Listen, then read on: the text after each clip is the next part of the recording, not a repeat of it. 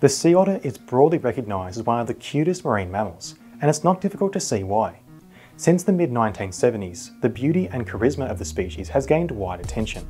The sea otter's expressive face, soft furry body and adorable behaviour has made them a popular inclusion at zoos and aquariums. And yet, the species has faced immense pressures from humans over the last 250 years, with the sea otter nearing extinction at the start of the 20th century. Before we get into that mess, let's start with the species classification.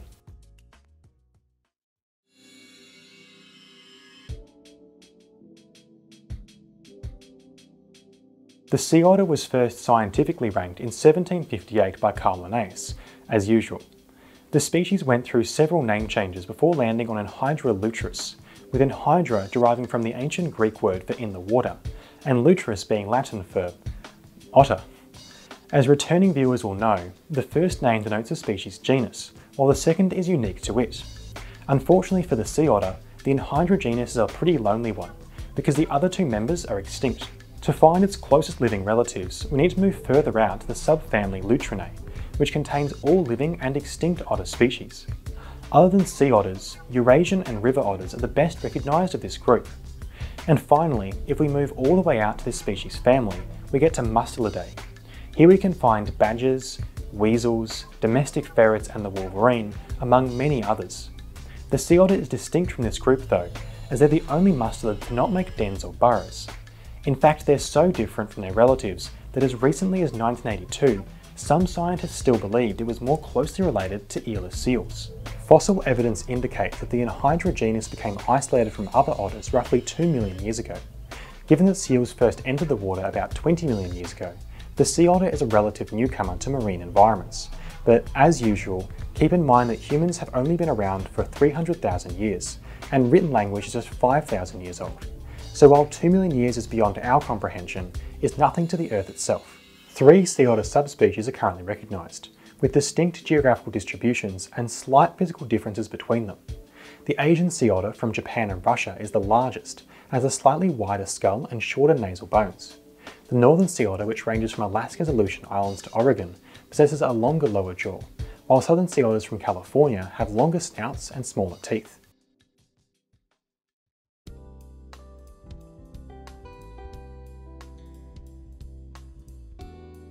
Of the 13 living otter species, the sea otter is the second largest. Males are between 1.2 and 1.5 metres long, or 3 foot 11 to 4 foot 11 when measured from nose to tail. Females are only slightly smaller, measuring between 1 and 1.4 metres, or 3 foot 3 to 4 foot 7 in length. Only the utterly monstrous species known as the giant otter outdoes the sea otter in this field, with some males measuring 6 feet long. But even with its much smaller size, the sea otter is by far the heaviest member of the mustelid family. Females typically weigh in at 14 to 33 kilograms, or 31 to 73 pounds. Males are significantly heavier, at 22 to 45 kilograms, or 49 to 99 pounds. Despite this weight, the species is one of the smallest ocean-dwelling mammals, outclassing only the marine otter found along the west coast of South America. Most marine mammals have a thick layer of blubber beneath their skin that help the species maintain body heat while also making them more buoyant and streamlined. Sea otters are a rare exception, being one of only a few species to lack this internal insulation. Instead, they rely on their exceptionally thick fur to keep warm. With 150,000 strands of hair per square centimetre, or nearly 1 million per square inch, the species' fur is the densest of any animal. Like many species, the sea otter's fur consists of two layers. The bottom layer is known as the down hair or undercoat, which helps maintain body temperature not unlike the blubber of other marine mammals. But while blubber warms the animal internally, this layer of fur creates an air pocket beneath it and the skin, where air is trapped and heated by the body. The top layer is known as the guard hair, which is longer and coarser to keep the dense undercoat dry. While sea otters may appear wet in these images, cold ocean water does not pass this top layer, which means their skin stays warm and heat loss is limited. Fur can be disadvantageous for marine species when it comes to diving, as the warm pockets of air held against the skin expel under pressure. The deeper the sea otter dives, the more the air is compressed, which eventually leads to loss of body temperature. This makes blubber more well suited for deeper ocean environments, as it doesn't compress at all. Sea otters lack a distinct molting season, retain their thick fur all year round. The hair is shed and replaced gradually, which requires the species to spend hours a day cleaning themselves to maintain their vital guard hairs. This isn't an issue for sea otters as they're incredibly flexible, being able to reach and groom the fur on any part of their bodies.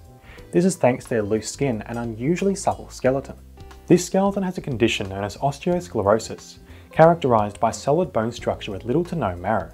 It's a disorder in humans, but for species like the sea otter, this increased bone density reduces buoyancy, allowing them to complete deeper dives than they would otherwise be able to. But given the amount of photos we've already seen with these guys back floating, surely they would want to be buoyant, right?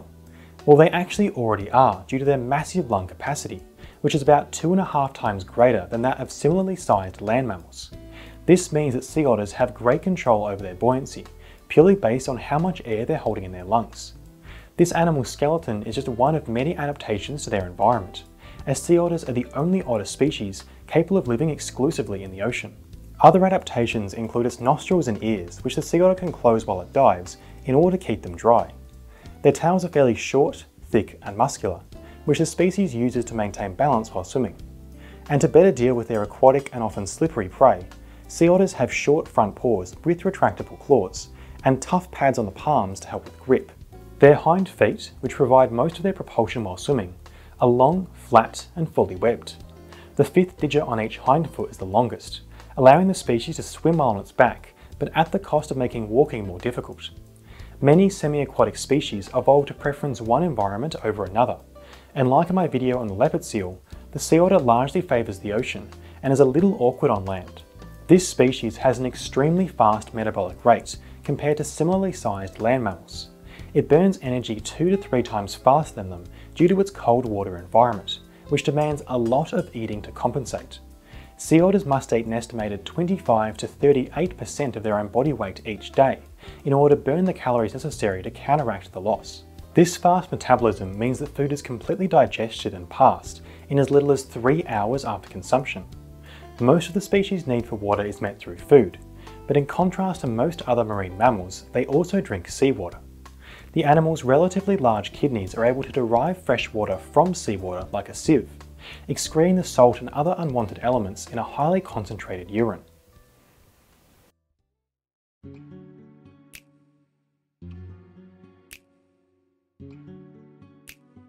Depending on the availability of food in the area, sea otters may spend anywhere between 24 to 60% of their day foraging for food. They hunt in short dives, often to the sea floor, Although sea otters can hold their breath for up to 5 minutes, their dives typically last about 60 seconds, with longer trips capping out at around 4 minutes. Sea otters are the only marine mammal capable of lifting and turning over rocks, which they often do with their front paws when searching for prey. Under each front leg, the species has a loose pouch of skin that extends across the chest, which they use to store collected food. Once they've reached the surface, sea otters eat while floating on their backs, using their front paws to tear the food apart and bring it to their mouths. To keep themselves from floating out to sea when resting or eating, the species may wrap themselves in kelp.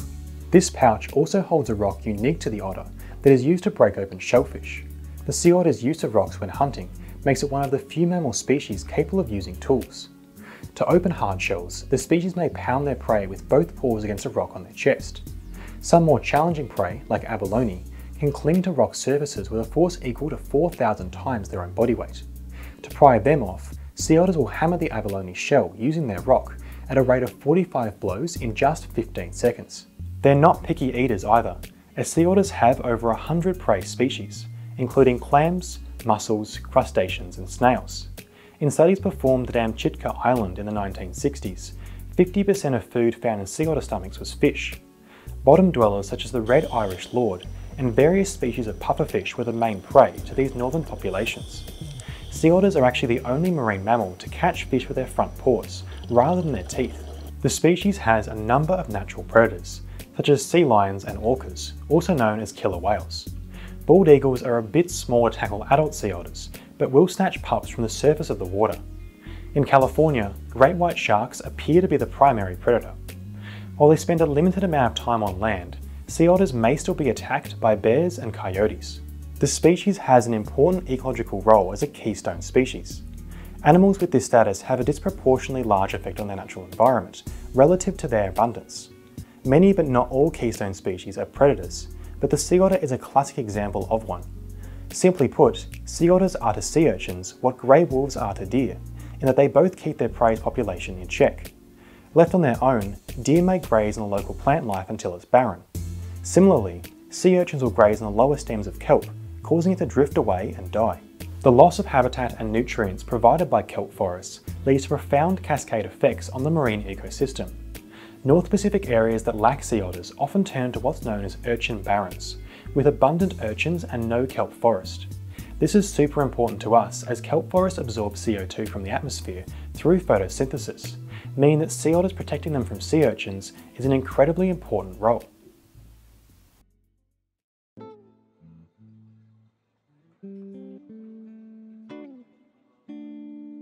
The Generation 5 starter Pokemon Oshawott and its evolutions Dewott and Samurott are based on the sea otter, with the final form taking more after sea lions. Oshawott and Dewott's designs also include shells on their bodies, referencing the sea otter's ability to use them as tools. The samurai theme present in these designs is fitting given that sea otters are found in select parts of Hokkaido, the northernmost prefecture of Japan. The species would later feature in the 2016 Pixar film Finding Dory. While they have no spoken dialogue, the sea otters are appropriately found in the fictional Marine Life Institute, largely based on the Monterey Bay Aquarium in California, where the species is found. The sea otter can fare well in captivity and is housed in over 40 public aquariums and zoos around the world. Thanks to their thick fur, sea otters have long been hunted by humans to use their pelts in our clothing. For many seafaring peoples across the North Pacific, the species played an important role as both a material and cultural resource. The sea otter's warm pelt was given in potlatches, a gift-giving feast practiced by indigenous peoples of America's Pacific Northwest coast. These pelts were reserved for major celebrations, such as coming-of-age ceremonies, weddings and funerals. The pelt was also used as chief's regalia in many groups from coastal British Columbia, such as the Nuu-chah-nulth and the Haida. On the Aleutian Islands off the coast of Alaska, sea otter bones were used in ornaments and games. The baculum or penis bone was powdered and used as medicine for fever by the Aleutian people. Throughout this region, most cultures have what's known as anima traditions, belief that objects, places, people and animals all possess spirits. Among the Ainu from northern Japan and Russia's Far East, sea otters were given the important role as a messenger between humans and the creator, Khotan Ka Kamui. The species is a recurring figure in Ainu folklore. One of the most, if not the most important piece of Ainu literature is Kutune Shirka, which tells a tale of an epic war fought over a golden sea otter. The many human-like behaviours of sea otters, such as playfulness and tool use, has made the species well suited to anthropomorphism, or attribution of human characteristics onto non-human entities. Versions of a widespread Aleut legend tells the story of lovers or despairing women who plunge into the sea and become otters.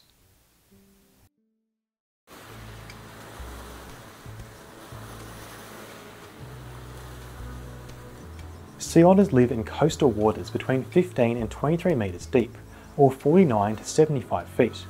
While they can potentially survive in the ocean for their entire lives, the species usually stays within a kilometre or two thirds of a mile off the shore. This is partially to protect them from severe ocean winds, as rocky coastlines, thick kelp forests and barrier reefs can serve as a valuable windbreak. Sea otter distribution ranges from northern Japan and Russia's Far East, through the Aleutian Islands to mainland Alaska and Canada. Smaller and more fragmented populations may be found on the west coast of the United States, all the way down to the Baja California in Mexico, although the species are predominantly congregated around California, Seattle and Vancouver. At their peak, the sea otter population is thought to have been between 150,000 and 300,000 individuals. That was until 1741, which marked the beginning of the maritime fur trade. Now this part of history definitely deserves its own video, so I won't go into all the details here, but in short, the innate value of sea otter pelts became commercialized and exploited during this time. Pioneered by the Russians, sea otters were hunted en masse from Kamchatka along the Aleutian Islands to the southern coast of Alaska. The British and Americans entered the trade in the 1780s, filling in the gaps by focusing on what is now the coast of British Columbia. Captain James Cook joined in to ruin everything, like usual, and rapidly sold the furs at a Chinese port for high prices. Sea otter pelts were considered to be extremely desirable as a fashion item in China, and they were one of the few imports the country was interested in during this time. The pelts were soon known as soft gold, in reference to their value and scarcity, which brought interest to an all-time high in 1884. But what's this massive Drop-off. Well, over 50,000 sea otters were hunted by American and Russian ships between 1803 and 1846, the vast majority being done by the Americans. Due to the species' slow breeding, the sea otter population could not keep up with this intense demand, which quickly made commercial hunting unviable in many areas. The prohibitively high cost and extremely limited supply essentially killed the maritime fur trade. But after 60 years of aggressive hunting by multiple world powers, the damage had already been done. So few sea otters remained that many believe the species would become extinct. Estimates suggest that less than 2,000 individuals remained in the wild, a 99% decrease in global numbers. Prices rose as the species became rare. From the 1880s to the turn of the 20th century, furs would increase in value by a factor of 10. By 1903, a pelt could be worth as much as 200 pounds or 1,100 US dollars. A lot, right? In 1903 money. So if you account for inflation, these pelts would cost about 27,000 pounds or just shy of 30,000 US dollars for a bit of fur. But even by the stands of the early 1900s, people recognised that conservation action had to be taken. In 1911, Russia, Japan, the United States and Great Britain signed the Treaty for the Preservation and Protection of Fur Seals, imposing a prohibition on the harvesting of sea otters. The species population has rebounded in the time since, with the sea otter now occupying two-thirds of its normal range. The IUCN didn't yet exist during the maritime fur trade, but since being established in 1948, sea otters have been consistently listed as endangered. Hang on, why? Didn't we fix the problem? Yeah, hunting is no longer a major threat to the species, largely because we've learned our lesson on that one. The hunting of sea otters is no longer legal except for limited harvest by indigenous peoples in the United States. But while that issue isn't much of a factor, other threats have come to take its place. The most eye-catching and important concern when it comes to sea otters is oil spills. The species is particularly vulnerable to this since they rely on their fur to keep warm. Remember before when I said their undercoat always stays warm and dry? Well that isn't true when it's soaked with oil, because it's so much thicker than water. When this happens, the undercoat loses the ability to retain air, and this almost inevitably leads to the sea otter dying of hypothermia. To avoid this, the animal needs to groom itself, cleaning the oil from its body. But doing this leads to sea otter's liver, kidneys and lungs becoming damaged as they ingest the harmful chemicals into their system. Sea otters regularly come into conflict with fisheries where they can entangle themselves in fishing gear and drown. Their seafood diet has led to fisheries blaming the species on the decline of shellfish populations, which is complete crap. Sea otters naturally prey on these species as part of their ecosystem, while humans are an introduced threat. The decline of shellfish is more likely to be caused by overfishing, disease and pollution, all of which humans have a part in. But their impact on commerce means that shellfish harvesting advocates have opposed allowing the sea otter's range to increase, with some choosing to poach them. In California, the parasite Toxoplasma gondii is widespread in the species, with one study revealing that 42% of live sea otters have antibodies to it. The parasite, which is often fatal to sea otters, is carried in the feces of wild and domestic cats. It's likely that this waste is being flushed down toilets and sinks by cat owners, before being carried out to the ocean through sewage systems. In some areas, sea otters are thriving, while in others the populations continue to diminish. It's a complex issue, but one that humans have a huge part in. While I've already mentioned them in this video, I'd like to point you towards the Monterey Bay Aquarium in California, who are the leading groups in sea otter conservation. The aquarium is perhaps best known on YouTube for their 24-hour live streams of their various enclosures, including the sea otter, but they do a lot to help the species outside of that.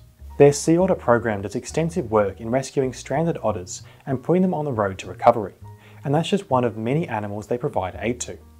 I'll leave a link to their website in the description below, so be sure to check them out and consider donating to help the species. Thank you for watching. There's a lot to talk about when it comes to sea otters and fitting all of that into this script was a real challenge. Regardless, I hope this was interesting. My next video will be up in two weeks, but not on an animal this time. It's a uni assignment, but one I'm pretty happy with, so that can be a fun little surprise. Back to usual after that one though. See you then.